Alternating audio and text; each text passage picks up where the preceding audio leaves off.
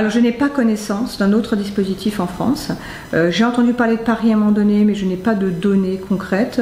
Euh, mais c'est effectivement, euh, pour l'instant, à ma connaissance en tout cas, la seule université qui s'est engagée pour les étudiants réfugiés et à les accueillir dans un dispositif spécial le français langue étrangère. Alors ils ont de 19 à 56 ans, donc effectivement un âge varié, même si l'âge moyen tourne autour des 25 ans, 30 ans. Euh, majoritairement, ils avaient une profession, ils exerçaient une profession. Il y, avait, il y a aussi un certain nombre d'étudiants, mais plus de personnes qui étaient déjà dans la vie active. Hein. Il y a euh, effectivement un ingénieur, un informaticien, il y a euh, une infirmière, enfin voilà, donc des professions aussi très variées. Et, mais ça correspond aussi un petit peu aussi au public que nous avons d'habitude.